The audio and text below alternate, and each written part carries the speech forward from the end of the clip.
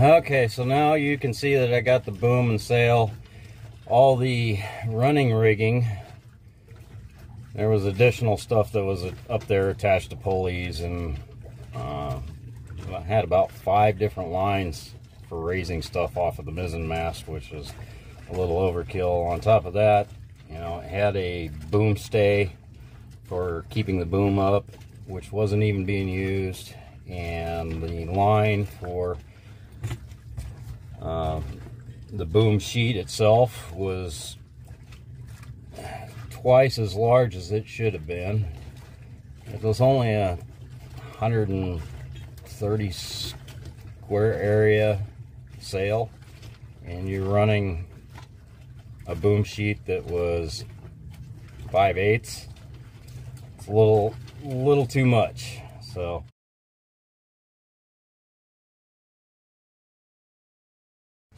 All right, so real quick, guys, right here. See, every mast, just about every mast is put on a boat, should have a drain port somewhere on the bottom of the mast. And it's usually a little closer to the collar down here because any water that comes from rain that goes down the mast needs to have a place to go.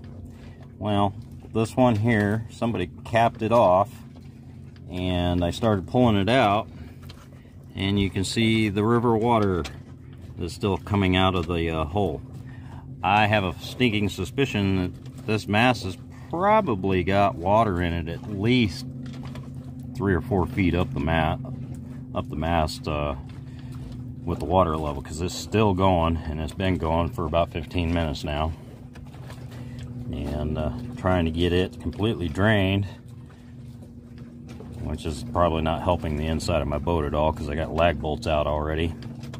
So, if you have drain holes in your mast, don't plug them, please.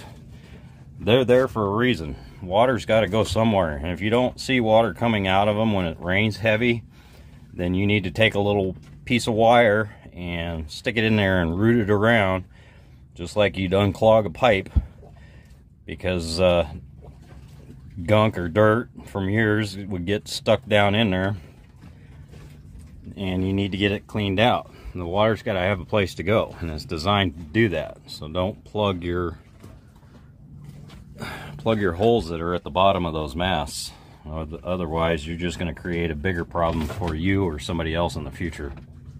Well, it went down a lot easier than I expected. Uh, we used the uh, mainsail uphaul and lashed off a line to the top of the mizzen mast.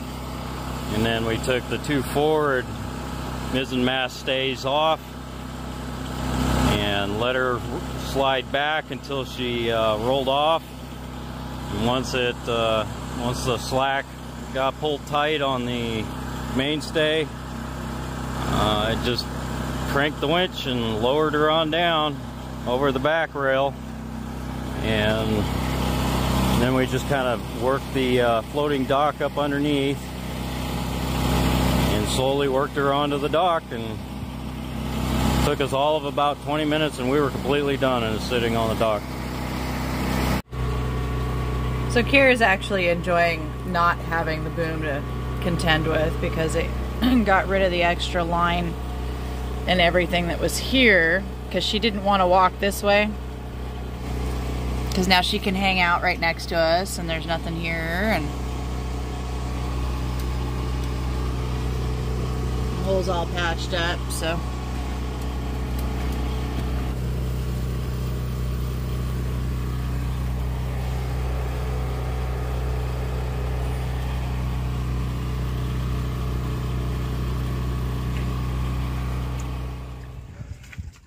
Well, it's taken about two and a half months, but Sarge has finally come out of the inside of the boat. Isn't that right, Sarge? Yeah, he's named after the uh, insane military cat off of 101 Dalmatians cartoon, Sergeant Tibbs. And most of the time, he's pretty damn lazy. But sometimes he definitely gets a hair in the wrong spot and he goes all over the place. He's been with me for quite a while now. And he travels really well. And once he gets used to everything again, then he has a good time.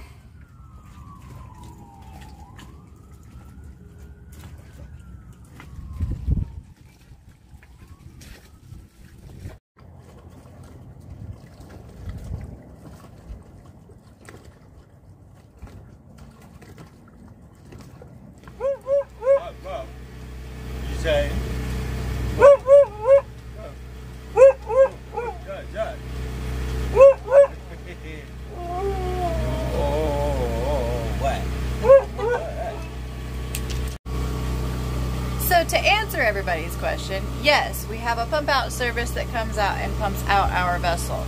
Um, there's actually a service out here in Florida that does that, and he's actually on his way over right now. So we're getting the deck cleared off a little bit and um, getting ready for him to come do it. It only takes about five minutes. He drains out all the septic, and then we get another two weeks before he comes back for another appointment. So easy peasy. Sure, as soon as I turn the video on, then everybody gets spread out.